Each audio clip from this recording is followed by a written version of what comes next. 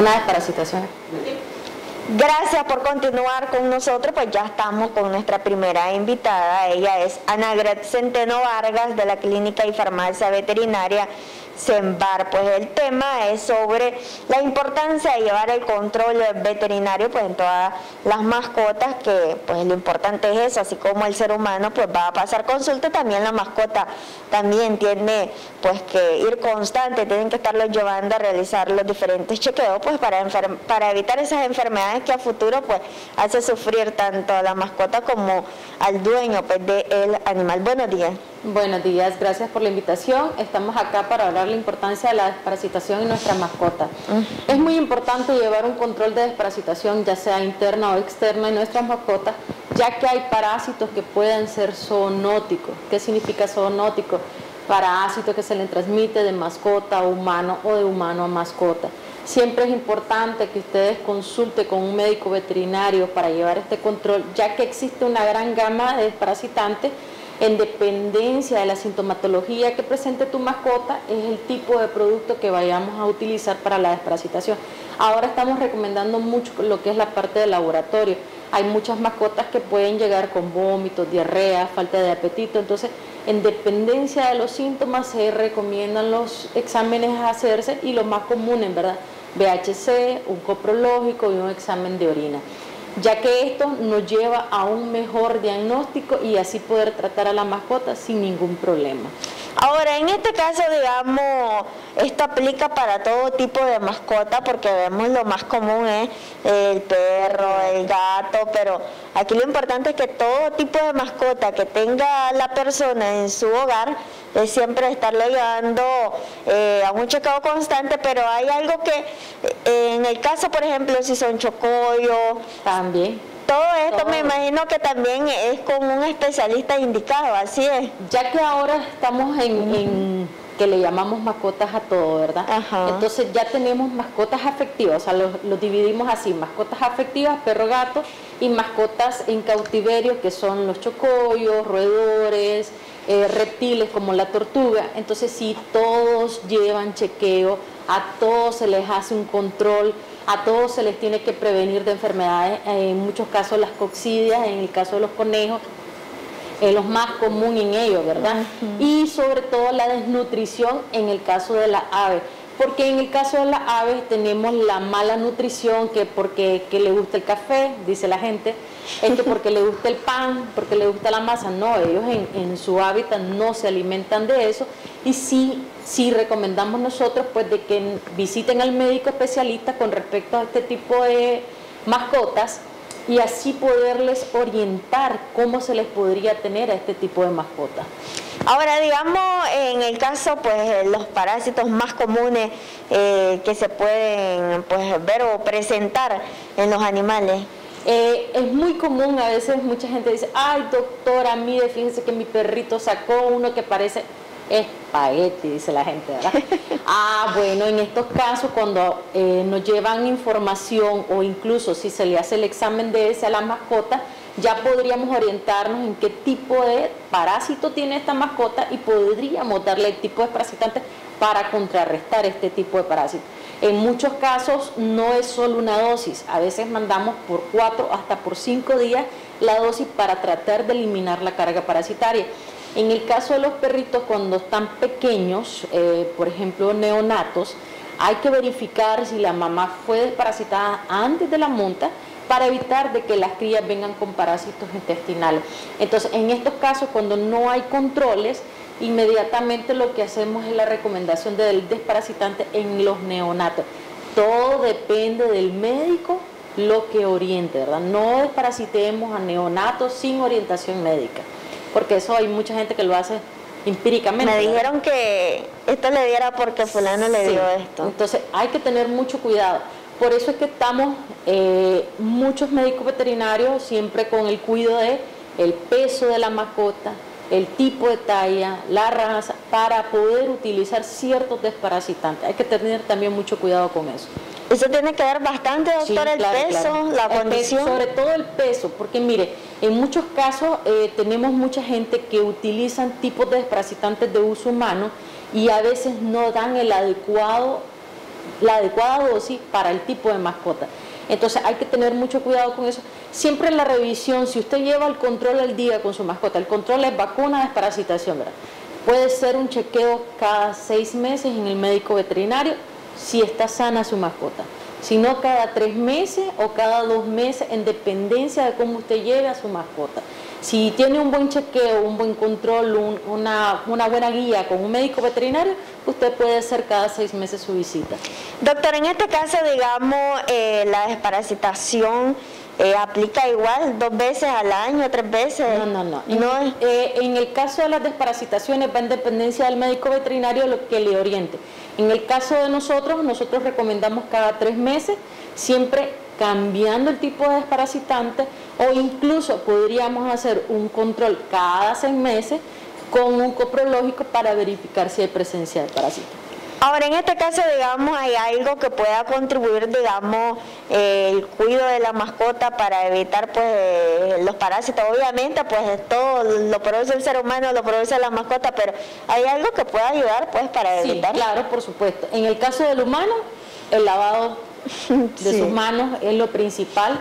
Y en el caso de las mascotas, siempre cuando ustedes llevan ese control, aunque ustedes lo saquen a pasear, evitar de que estén en el césped, evitar de que ellos estén oliendo o lamiendo cosas que, que ustedes no saben la procedencia, porque por medio del contacto es donde se puede transmitir el parásito. Entonces hay que tener mucho cuidado con eso el recoger sus heces a tiempo, evitar de que se pase ahí mucho tiempo y esperar que se seque, porque recuerden que la mosca siempre anda por todos lados, entonces también por ahí podríamos tener el problema de contagio de parásitos.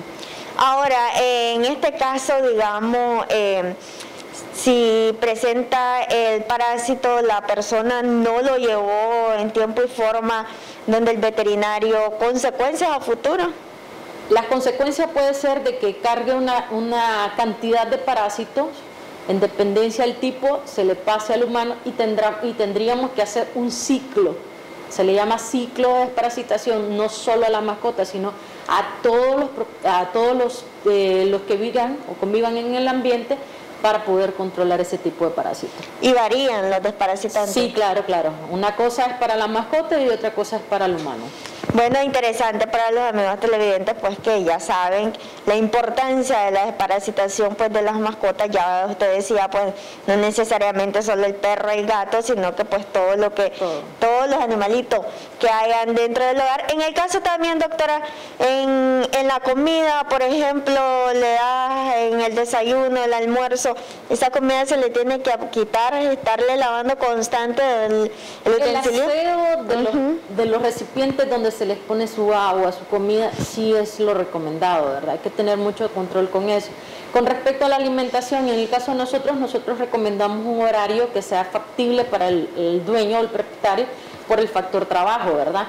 Siempre nosotros recomendamos que la alimentación no quede mucho tiempo en el recipiente de comida para evitar de que esa alimentación se le ensucie, se le dañe o incluso se le pegue en mosca y ahí podrán, podríamos tener un problema mayor. Entonces siempre es un control con horario. Doctora, tal vez nos comenta sobre la rifa para los televidentes, ¿en qué consiste? Ok, en este caso, pues el televidente, que llame, vamos a regalarle una desparasitación interna y externa que podamos cubrir ambos, ambos lados, ¿verdad? y así usted pueda tener la facilidad desparasitar a su mascota. ¿Para cualquier tipo de mascota, doctora? En dependencia de lo que pese su mascota, se le va a dar el, peso al el peso del desparasitante. Bueno, así que le, vamos le recordamos los teléfonos para que ustedes llamen y pues sean los ganadores de esta eh, desparasitación. Estamos hablando de los teléfonos 2266-9983 y el 2266-9984 y también está el 2266-0691 pues para que ustedes llamen y sea uno de los ganadores. Doctora, también en este caso, digamos, eh, en el caso del baño, cómo debe ser es adecuado. También en el caso de la alimentación, muchas personas pues tienden a darle el alimento del ser humano y no la comida adecuada también de, de la mascota. En el caso de la alimentación casera, pues siempre nosotros recomendamos que sea una alimentación especial para ellos, que sea sin condimentos, sin sal, sin aceite, sin azúcar, sin nada, porque ellos no necesitan. E incluso hay alimentos crudos que nosotros lo recomendamos, pero eso va en dependencia de lo que le oriente el médico veterinario. En el caso de nosotros, en dependencia como vayamos viendo a la mascota, vamos recomendando cierta nutrición. Hay nutriciones avanzadas, hay nutriciones que son de baja calidad, pero por medio de ellas vamos orientando otro tipo de, recomendaciones. En el caso de, de, los baños, eh, hay tipos de pelaje de cada mascota que siempre nosotros recomendamos eh, lo que son los champús, lo que son jabones, o perritos o gatitos que tienen problemas en la piel. Entonces hay productos especializados para ese tipo de patología y las recomendaciones, como siempre, ¿verdad? El médico veterinario es el que te va a orientar qué producto vas a utilizar en tu mascota. Hay productos estéticos que son para aquellos perritos que están bien cuidados y te mantienen el, el vello de la mascota precioso, ¿verdad? como el famoso French Poodle que se ve bonito, esponjoso.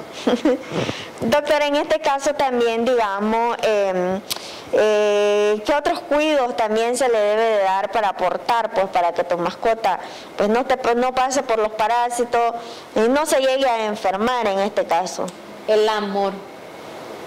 El amor es muy importante en el cuidado de tu mascota. Cuando vos tomas la responsabilidad de tener una mascota, tenés que tomar en cuenta que también vas a ser miembro de tu familia.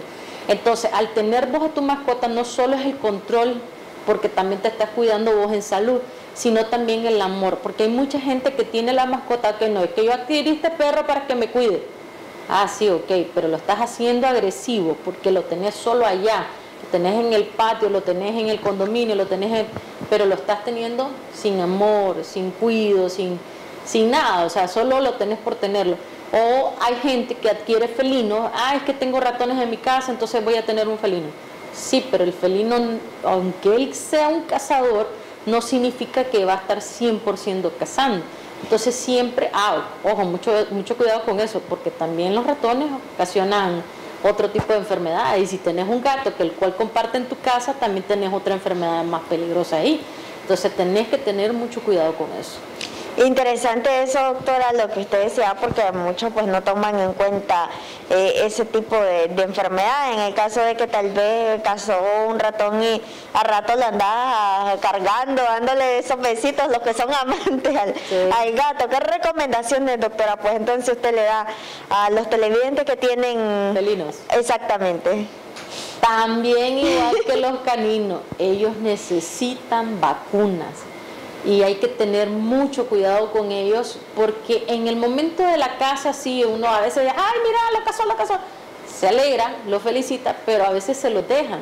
Entonces, lo recomendado es, ok, ya lo casó, ustedes busquen cómo descartarlo antes de que la mascota lo ingiera, porque yo no lo recomiendo. O hay otros felinos que los agarran, los juegan y los corretean y todo, pero yo siempre recomiendo evitarlo, porque tenemos ahí los problemas de lectospira, y hay que tener mucho cuidado con eso. Bueno, doctora, ¿dónde la pueden localizar para una consulta? Ok, nosotros estamos ubicados en la colonia Nicaragua, de los semáforos del Hospital del Niño, cuatro cuadras al este, sobre la pista Solidaridad. Bueno, muchísimas gracias doctora por este importante tema y también recordarles que ustedes pueden seguir llamando para llevarse pues un desparasitante. Nosotras sí nos vamos a ir a una pausa comercial.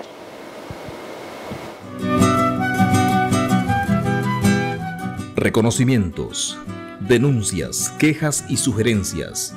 Envíelas a Canal 12. Programa Buenos Días Nicaragua. Residencial Bolonia. O llámanos a los teléfonos 2266-0691, 2266-9983, 2266-9984. Escríbanos a nuestro correo electrónico canal12 arroba canal12.com.ni. Redes sociales, Facebook Noticias 12 Nicaragua, YouTube, Canal 12 Nicaragua, Twitter arroba canal 12 Nic. Visita nuestro sitio web www.canal12.com.ni.